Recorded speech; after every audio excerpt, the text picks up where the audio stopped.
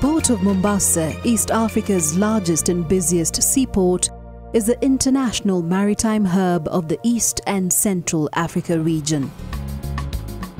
A key facilitator of international seaborne trade, the Port of Mombasa provides seamless direct connectivity to over 100 seaports worldwide. Managed by Kenya Ports Authority, the port handles over 30 million tons of containerized and conventional cargo annually. The Port of Mombasa boasts of a large and well-secured natural harbour with deep water inlet of 45 to 55 meters at its deepest centre. And with the dredging of the entrance channel, the port can accommodate some of the largest Panamax vessels in the world. Serving the hinterland of Kenya and the countries of Uganda, Rwanda, Burundi, the Eastern Democratic Republic of Congo, DRC, South Sudan, and northern Tanzania, the port of Mombasa is the nerve center of the rapid economic growth being witnessed in the region. We bring in about 16,000 tons of goods every month. The port is our bloodline. All of the material which we order, um, whether it's uh, raw material or even spare parts and consumables, everything that we order comes through the port of Mombasa. D'ici, la production d'ici à Teza est exportée en grande partie aux enchères de Mombasa, à peu près 90%, alors que moins de 10% est consommé localement. We are importing most of our raw materials. Uh, practically 85-90% of our raw materials is imported. We're importing through the port of Mombasa. Uh, we export throughout the region around the Great Lakes and we also export overseas through the port of Mombasa. Over the last five years, cargo throughput has registered a steady growth rate of 8.0% annually from 22.307 million tons in 2013 to 30.345 million tons in 2017. Container traffic registered an all-time high of 1,189,957 TEUs in 2017, up from 894,000 TEUs in 2013. This performance compares favorably against the global average growth rate of 4% per annum. In 2017, total imports through the port of Mombasa were 25,604,000 deadweight tons. Containerized cargo accounted for 7,502,000 deadweight tons, conventional cargo at 2,003,000 tons, dry bulk at 7,920,000 and liquid bulk at 8,179,000 deadweight tons.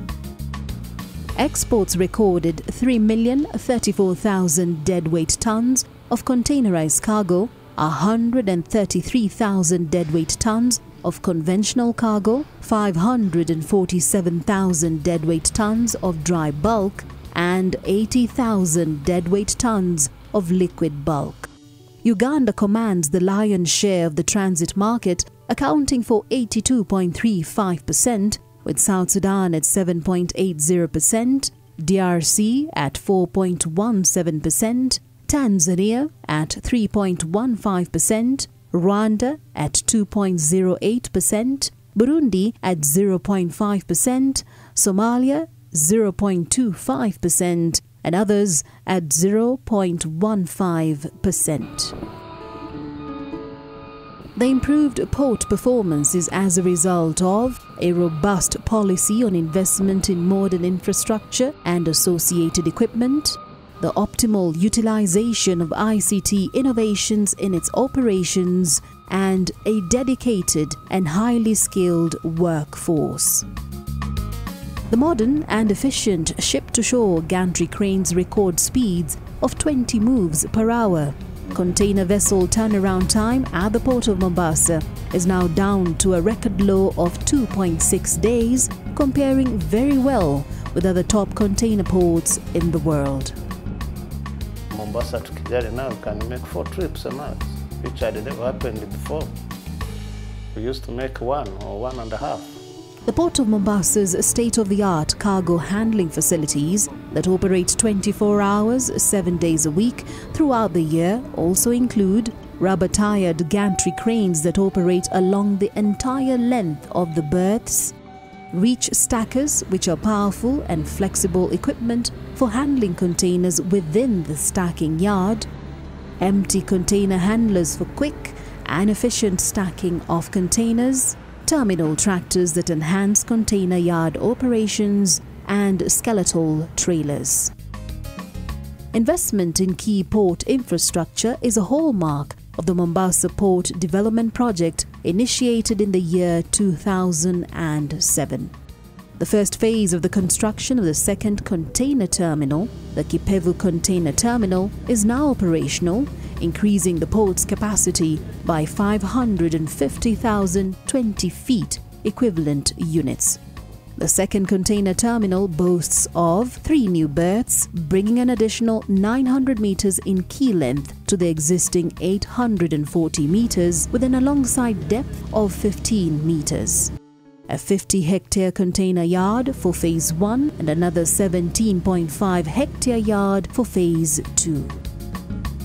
Upon completion of the two remaining phases, an additional capacity of 1.5 million TEUs will be achieved, bringing the total port's capacity to 2.6 million TEUs. This will have more than double the capacity of the port.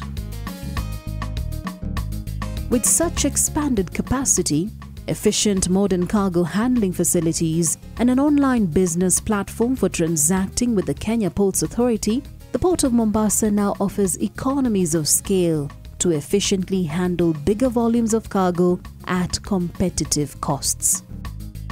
A single customs territory at the Port of Mombasa has improved efficiency, enabling transit cargo to be cleared within a shorter time. Before it used to take like 21 days from the time the consignment arrives at the port up to the time it arrives at the, our border here. But now it takes between 4 to 6 days. Roadblocks has been removed totally. From here up to Mombasa, there is no permanent roadblock. Goods that are destined to Tanzania, Rwanda, and Burundi are cleared within the port. Taxes are collected within the port by the Tanzania Revenue Authority, Uganda Revenue Authority, and Burundi Revenue Authority. In the single uh, customs uh, union that we have right now in East Africa, we have a common external tariff, so therefore tariffs are unified. And now we're going towards where duties are paid only in Mombasa through, through electronic systems. Goods will flow better. We can export right up to Egypt, Sudan, uh, Somalia, the whole works down to Zimbabwe. And that's going to be a lot of usage of the port and seaports. Every harbour has its own secrets, hence, it is a highly skilled local pilots who expertly steer vessels in and out of the harbour. Tugboats with 55 to 60 ton bollard pull are marshalled to berth and unberth vessels. From the control tower that stands over 86 meters high, all vessel movement into and out of the harbour is closely monitored. Kenya Ports Authority has installed an integrated security system. The project involved the setting up of a main security centre and security backup centre, a closed circuit television system with hundreds of cameras strategically located for port surveillance, a taut barbed wire perimeter intrusion detection fence, detector grid barriers for protection of water channels, an access control system with X-ray and metal detector equipment at entrances, and alarm controller systems. The well-equipped and highly trained personnel is on standby round the clock, ready to respond to emergencies at the port of Mombasa. Apart from securing the safety of vessels, cargo and people within the port area, the unit also responds to emergencies within the wider Mombasa city. The authority recently received two modern mobile harbour cranes with the capability to provide dust and spillage free discharge operations for dry bulk cargo handling. The equipment, with a complement of eco has a dust control system that minimizes escape of dust and reduces running expenses by 30% on average. The Port of Mombasa is linked to efficient and effective rail and road connectivity throughout the Northern Corridor. With the operationalization of the standard gauge railway, the line will run from the Mombasa port to Malaba, Kampala, and then Kigali, a distance of 2,935 kilometers. The new line is expected to reduce the cost of freight from the port of Mombasa significantly. Going to make the whole process of moving cargo uh, more streamlined, more efficient, and timely. The upgrading and expansion of the capacity of the Inland Container Depot, Nairobi, from 180,000 TEUs to 450,000 TEUs has improved Mombasa port handling capacity, ship turnaround time, and cargo dwell time. This, among other key port performance indicators, give the Port of Mombasa and the Northern Corridor a clear competitive edge in this region. Kenya Ports Authority's presence in the East and Central Africa region is manifest with the existence of liaison offices in Uganda, Rwanda, and Burundi. They are really happy, they are near us. So if we have any issue here, instead of taking a plane to Mombasa, which is an additional cost, you take two days to see the officer you want, you take another week to solve the problem that has taken you. Here you just walk to KPA office and it will be sorted out immediately and it has been done several times.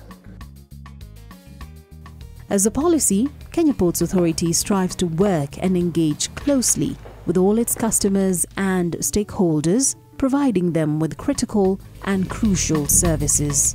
It's a good thing to have a KPA uh, liaison office here. We, we don't have to go to Mombasa if uh, there is any query. We just have uh, uh, near us a liaison officer. Kenya Ports Authority has invested heavily in automation of port management by continuously upgrading ICT systems, cargo handling equipment, and human resource training and development. Customers and stakeholders easily interact with the Kenya Ports Authority on an online internet platform to access services at the touch of the button and in the comfort of their offices.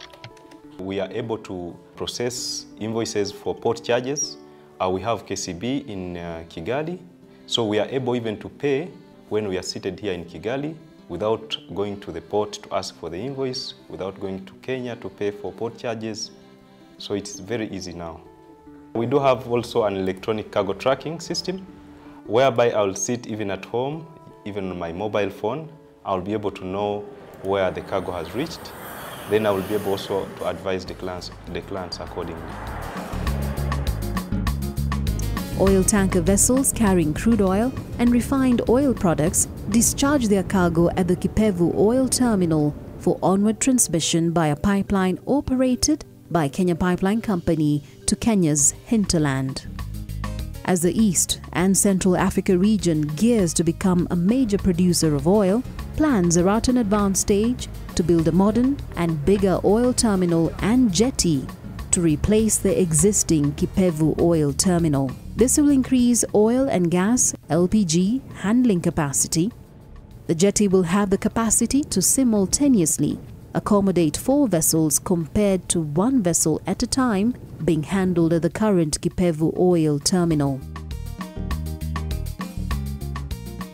The construction of a second port at Manda Bay in Lamu and managed by Kenya Ports Authority forms part of a new freight corridor connecting Lamu, Ethiopia and South Sudan, known as the LAPSSET project, one of the country's Vision 2030 flagship projects.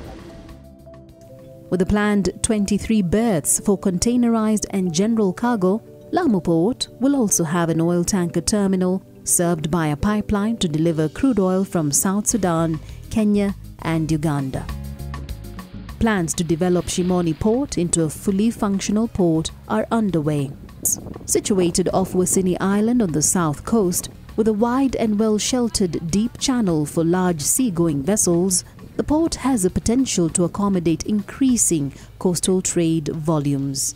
The current jetty serves the vessels destined to mainly Pemba and Zanzibar islands. The Port of Mombasa is on course in its plans to be one of Africa's transshipment hubs. Kenya Ports Authority is committed to increasing productivity of the Port of Mombasa by continuously improving on service delivery to meet and exceed customer expectations, investing in appropriate infrastructural and capital developments, increasing cargo throughput, enhancing labor productivity, enhancing the port's financial performance, and prudently managing business risks. Kenya Ports Authority. Growing business, enriching lives.